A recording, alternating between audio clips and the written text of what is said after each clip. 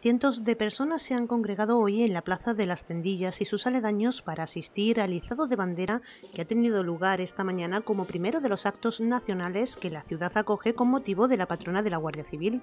En el acto han estado presentes las distintas autoridades, siendo el secretario de Estado de Seguridad, Rafael Pérez, quien ha inaugurado estas conmemoraciones en honor a la Virgen del Pilar. El evento ha congregado a varios destacamentos de la Benemérita, la Policía Nacional y el Ejército.